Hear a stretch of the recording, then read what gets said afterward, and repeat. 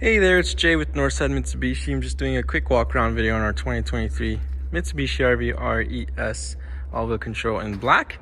Underneath the hood, you got your two liter uh, four cylinder MIVEC engine. Very good on fuel. Let's check out the sides. It does come with your 16 inch steel rims with your hubcaps, all season tires. Moving on to the interior, it does welcome you into this fabric um, and black Interior, where both front seats are heated. You also got this pattern going down the middle. Your steering wheel does come equipped with Bluetooth cruise control as well.